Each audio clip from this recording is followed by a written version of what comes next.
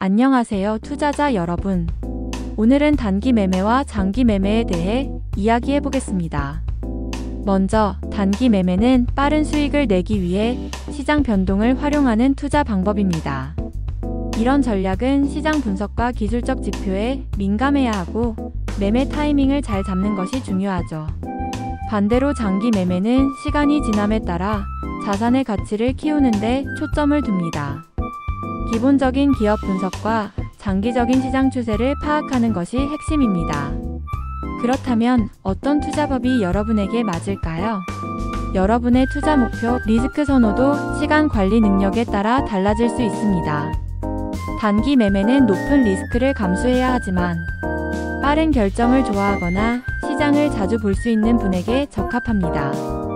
반면 장기 매매는 보다 안정적인 수익을 추구하면서도 시간에 쫓기지 않고 여유롭게 투자할 수 있는 방법입니다. 자신의 성향과 목표에 맞춰 올바른 투자법을 선택하시길 바랍니다. 여러분의 스마트한 투자를 응원합니다.